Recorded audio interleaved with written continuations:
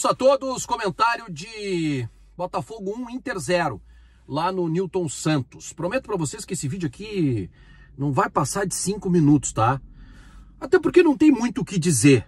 As coisas se repetem. Não adianta mudar treinador se a gente tem à disposição as mesmas peças. Claro, considerando oito, nove desfalques, né? Mas com o time que tinha hoje, com jogadores aí cansados, se arrastando, e outros jogadores, outros nomes que estamos todos, né? Já, nós cansados, né? De, de assistir, é, não poderia ser outro resultado. Mas tem algumas coisas que eu quero falar é, com vocês a partir de agora neste conteúdo que tem a força de KTO, KTO.com. Te registra lá para dar uma brincada, pega o meu cupom VAGUINHA, é 20% de free bet. Eu quero cinco cadastros novos aí da galera que está me acompanhando pela primeira vez. Vai ali, faz o teu cadastro na KTO. O link está aqui embaixo para te facilitar, tá? Vai ali, já faz o teu cadastro na KTO. Terça-feira tem jogo importante. E vamos lá. Eu, eu acho que, que é possível virar contra o Rosário Central. KTO é parceiro do canal do Vaguinha. Vamos lá. O que, que o Roger fez? O Roger fez uma opção hoje de, eh, de colocar em campo um time mais experiente, mais maduro. Estava enfrentando o líder do Campeonato Brasileiro, teve pouco tempo de trabalho, tinha muitos desfalques, e aí preferiu deixar a gurizada no banco de reservas e botar um time mais cascudo dentro de campo. E aí, os erros eles se repetiram, né? O que, que eu vi de diferente na, na, na postura do time? Eu vi o Wesley jogando um pouco mais por dentro, não com o pé na linha lá no, no na ponta esquerda. Eu vi o Borré é, saindo um pouco mais da área, com o Alário sendo a referência, e aí não teve. O time não tinha armação, porque jogou com três volantes. Rômulo, muito mal no jogo, pelo amor de Deus, o Rômulo. Muito mal, perdido. É, enfim, insuficiente para jogar no Inter. É, Bruno Henrique, que até, pelo menos correu até o fim, o Bruno Henrique. Bruno Gomes, também aquele futebol dele que o Bruno Gomes acha que é, que é craque. Não é craque, é um jogador que, que é, é, é, é, complemento de grupo, e aí tem uma passada diferente, na hora de chutar a bola, joga na lua. É, ficou sem armação o time. O time não, não, sem o Alan Patrick ficou sem armação. Quem são os meias? Falei antes do jogo. Quem são os meias que ele tem? Ele tem Gustavo Prado e Gabriel Carvalho. O Roger.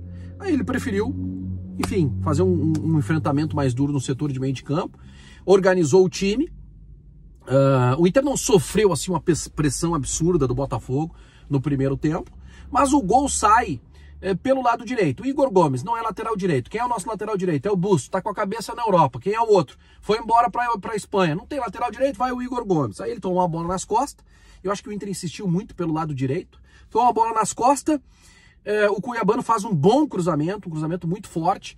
E aí o René aparece no gol de novo, né? Sempre a e aí o pessoal vai botar a culpa no René, acho que ele não teve culpa, ele chegou atrasado.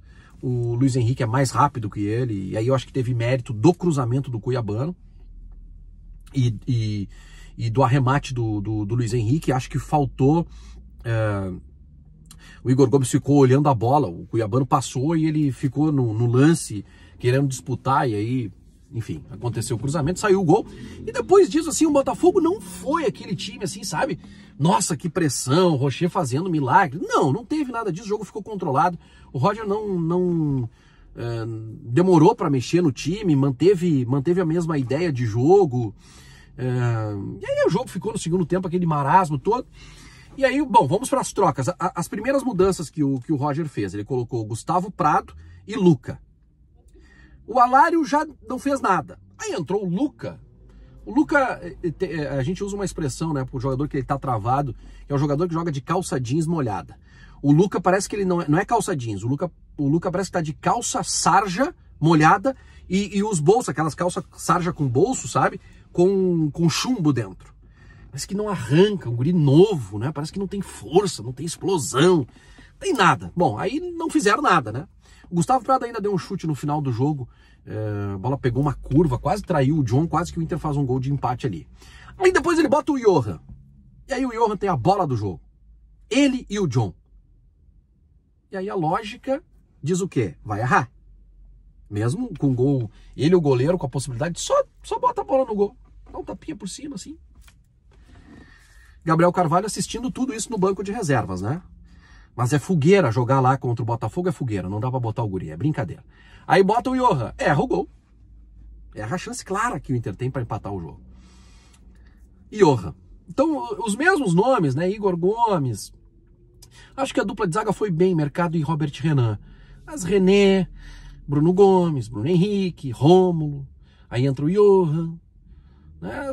sabe, Alário, muito, Borré mal, Borré parece que tá cansado, parece que, sabe, cara, enfim, é, não há muito o que falar, também não vou cobrar do Roger aqui, obviamente, né, é, mesmo se o Roger ganha o jogo hoje, não, não dá para dizer que, ah, meu Deus do céu, o Roger mudou tudo, não, mas eu acho que ele, ele, ele, ele tem, é, começou a colocar em prática as ideias dele, né? Enfim, a gente tem que projetar já o jogo contra o Rosário Central, volta o Alan Patrick, talvez volte o Ener Valência, e aí muda um pouco de figura, ele começa a ganhar mais opções, a gente precisa fazer gols, né? Contra o Rosário Central. Mas enfim, perdemos mais uma no Campeonato Brasileiro. E eu confesso para vocês que eu estou um pouco assustado com a tabela de classificação. O Inter tem mais, é, tem dois jogos a menos, né?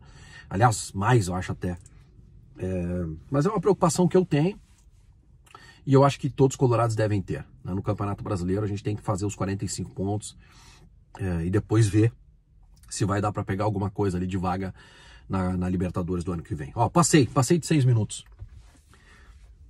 É isso, gente. Abraço, obrigado pelo carinho. Até a próxima. Tchau, tchau.